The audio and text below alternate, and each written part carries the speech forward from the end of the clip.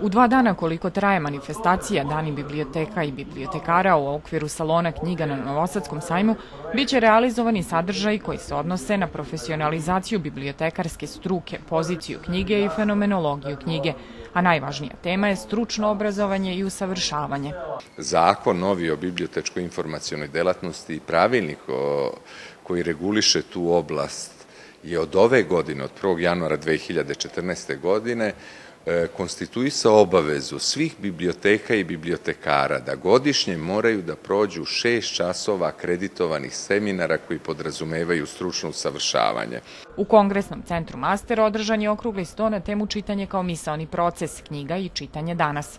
Izuzetno mi je drago što je današnja tema čitanje kao misalni proces, jer je čitanje zaista jedan od najsavršenijih načina da počnemo da sagledavamo probleme, da razmišljamo o njima, pa samim tim i da ih rešavamo.